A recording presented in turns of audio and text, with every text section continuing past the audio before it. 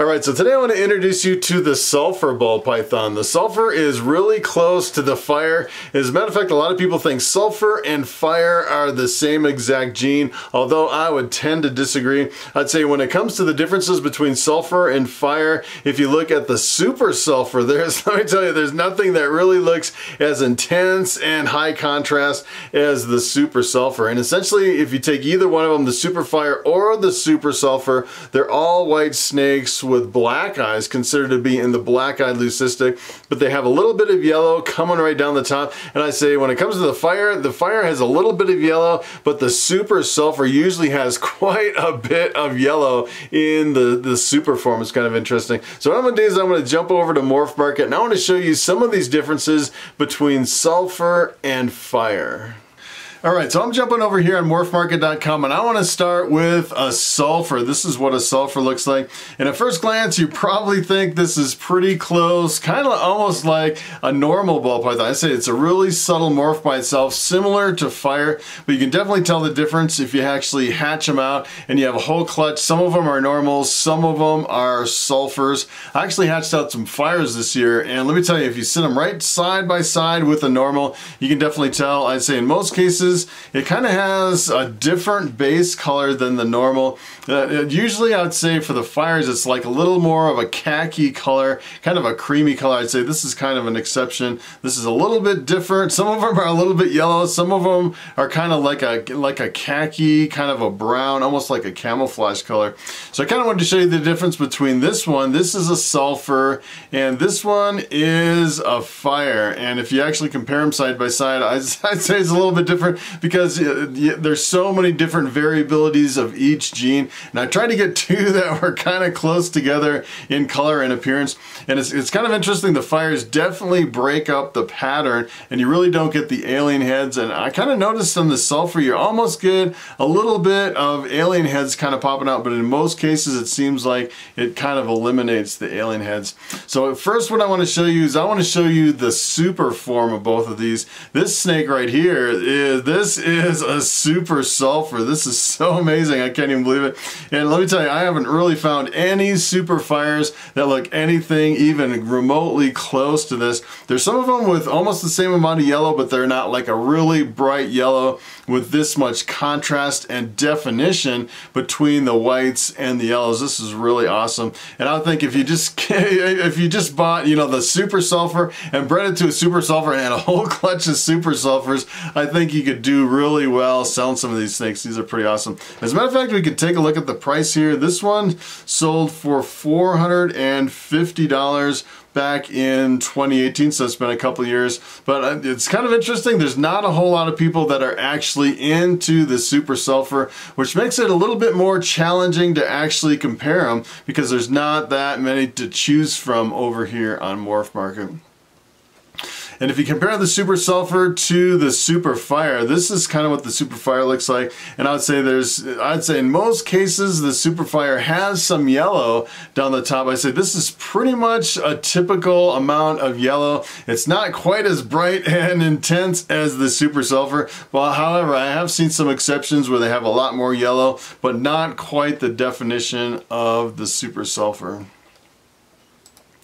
So this is an interesting gene. This is the disco, and believe it or not, the disco is actually allelic with fire and sulfur. So you can actually breed the disco with the sulfur, and this is what you get. You get a sulfur disco. Take a look at this. This is an awesome snake. This has both genes in it. So if you breed this to something else, half the offspring come out as disco, half of them come out as sulfur. And it's the same thing if you actually have a sulfur, uh, a disco fire. It works uh, the same. It almost looks exactly the same as the sulfur disco. Here's another one that's actually allelic with sulfur and fire. This is the vanilla. It's pretty awesome morph. This is what happens when you mix vanilla with the sulfur. You kind of get almost the same looking snake. This is actually what they call the sulfur cream. And if you're wondering about the prices on these, these are really reasonable. This one was only $150, a pretty awesome snake. And it's, it's kind of interesting. You can actually kind of cherry pick some of these combos. And I was kind of looking through like the sulfur and the fire, and I'd say in most cases, it's kind of hard hard to actually work these into other genes and get really impressive results. One of the things I really didn't see with the sulfur is some of the combos when you mix it with pastel or orange dream and you mix it with other genes. So fire, in my opinion, is really a lightening and enhancing gene and it works really well with pastel and orange dream and you mix, you know, pastel, fire, orange dream and you mix it into other combos. Essentially what that does is it brings out the yellows and the oranges, makes for a really bright, colorful snake, and really cleans it up, makes it, you know, kind of the background, cleans up the white, and makes it really defined, a lot of contrast. And it'd be interesting to actually take the sulfur, which I haven't seen a lot of, and mix it with the pastel and the orange dream, and then mix other genes on top of it to see if it's actually kind of the same thing with the sulfur. Maybe even better than the fire, which would be awesome. So here's another one that I wanted to show you. This is actually a clown. Clown is a recessive mutation. Clown is, I kind of consider it the king of combos when it comes to recessive morphs. As a matter of fact, when I first started in ball pythons, I was looking at all these different genes and everyone was crazy over the clowns.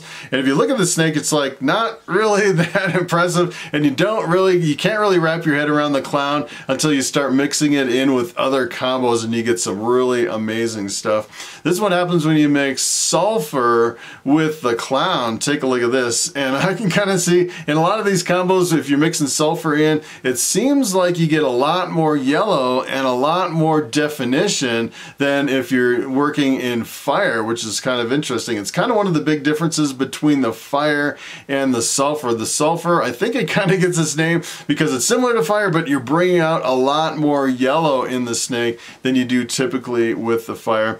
I actually got a fire clown here. I wanted to show you this and just compare the difference. And this is what the fire clown looks like. And of course, there are variations of a theme if you look at different snakes. But usually when you mix in fire with some of these combos, essentially what it does is it lightens it.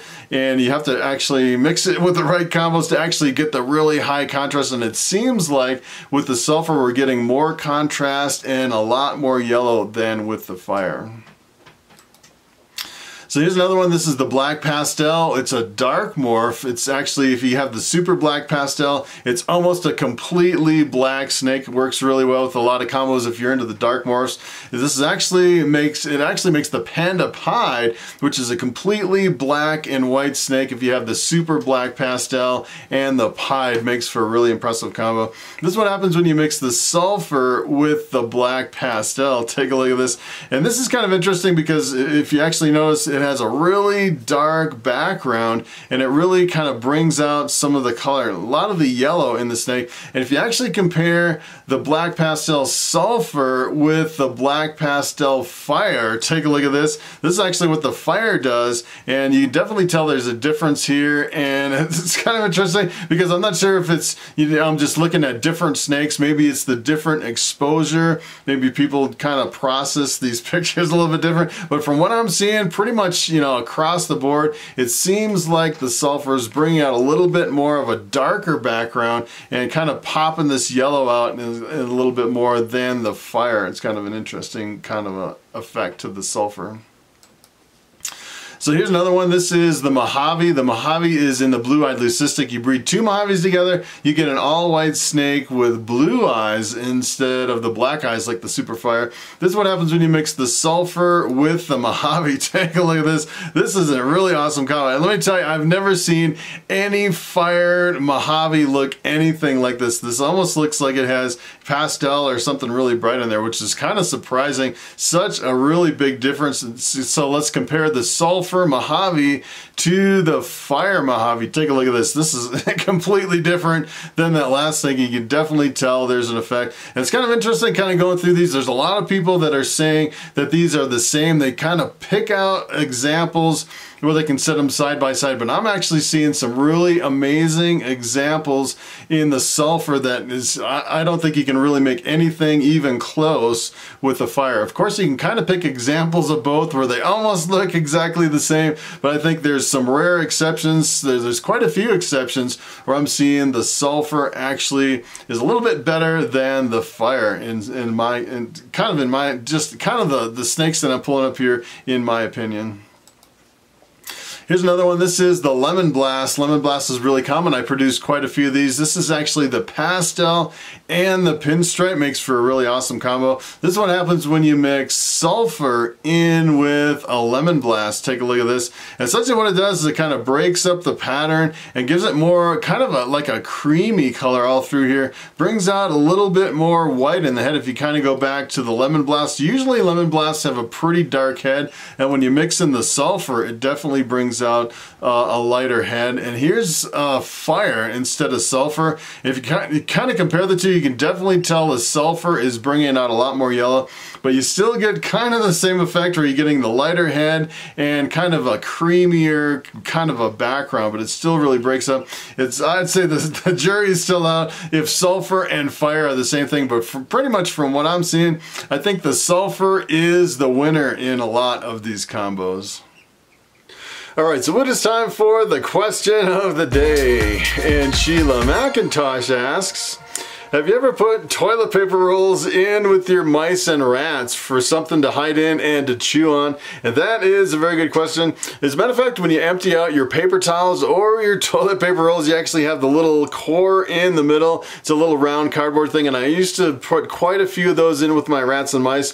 I actually found out that with my rats, they can actually get stuck in those rolls of toilet paper. Actually, I had one get stuck in there, and I actually had to kind of perform surgery and clip it with scissors and get that thing off of the rat. Let me tell you, he wasn't very happy. And now what I do is if I actually put it in there, I'll actually cut them long ways and I'll cut them in half and I'll put two halves in there. They definitely like to chew on something. As a matter of fact, there's a lot of people that recommend putting little blocks of wood in every rodent tub. Some people say that if you're using really cheap tubs, some tubs that they can actually chew through, a lot of times the blocks of wood will keep them from chewing through the tubs. Although I use ARS caging racks and I never really had a problem with the rats chewing through the tubs, thank goodness. That's kind of one of my biggest nightmares is, you know, rats chewing through the tubs and getting loose in the house. That would be terrifying. Rats running around tearing up the place.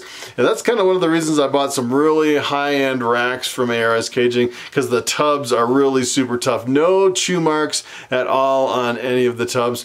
And it's kind of interesting. I actually have some rats that every now and then they'll get a tooth that is a little bit longer than the other one. Sometimes it sticks out out a little bit. And a lot of people say if you put little blocks of wood in the rodent tubs, a lot of times that'll help kind of trim down their teeth and keep their proper kind of oral hygiene for your rats. You definitely probably want to consider putting little blocks of wood in every single rodent enclosure. So that is pretty much it. Thanks for watching, and I will see you in the next video.